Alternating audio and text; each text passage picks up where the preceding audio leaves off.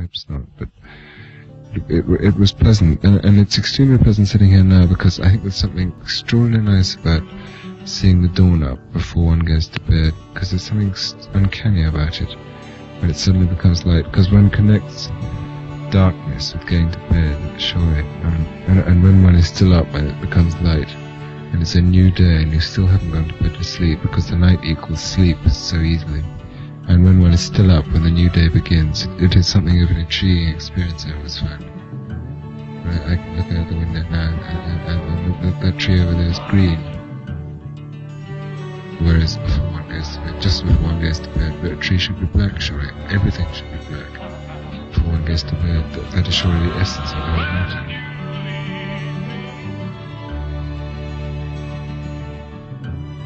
This is the only known recording of Nicholas Rodney Drake talking, a songwriter who struggled through his life and died an early death at the age of 26. While many people look for clues to who Nick Drake was behind his music, however, I will focus on what we already know him to be, as he had poured his heart into his music his whole life. Why look for more if we could just listen to what's here already?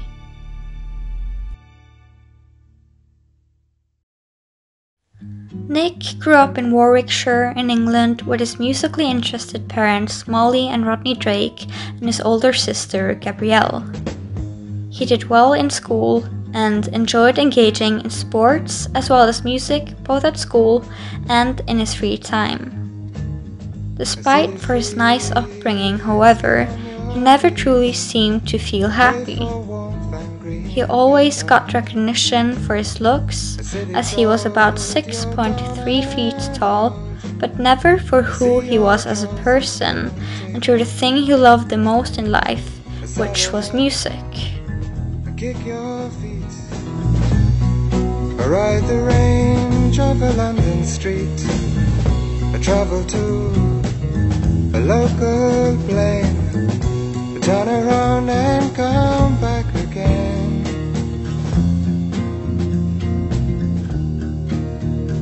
And at the chime of a city clock put up your road clock hang on to your crown For a stone in a tin can Is wealth to the city man Who leaves his armor down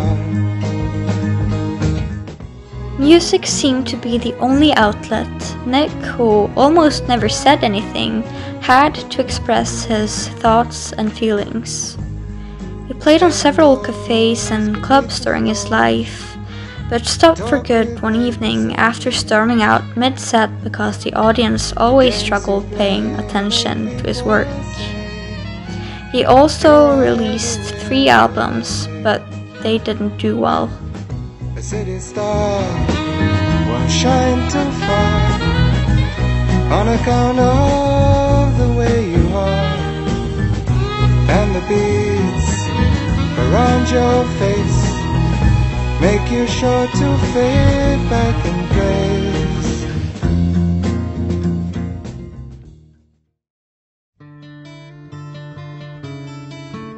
Nick Drake had many inspirations John Renbourn, Jackson C. Frank, Burnt Jones, Mozart, and poet William Blake.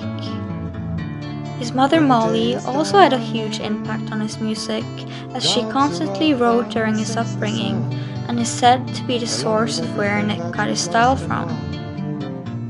But like his mother, I think Nick Drake's biggest influence of them all was nature.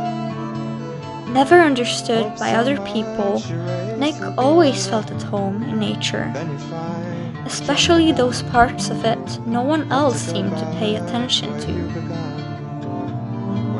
And that's what I think Nick Drake tried to give his listeners also a source of understanding, hope in a world where nothing seems to be working out. His music was never about himself, but rather the help he could offer others.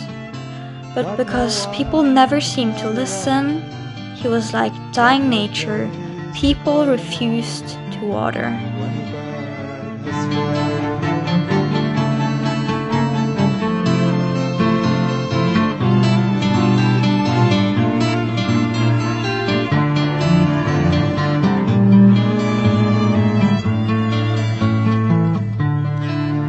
Game's been fought. Newspaper blown across the court. Lost much sooner than you would have thought. Now the game's been fought. When the part is through, seems so very sad for you.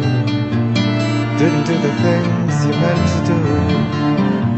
Now there's no time to start anew. Is done.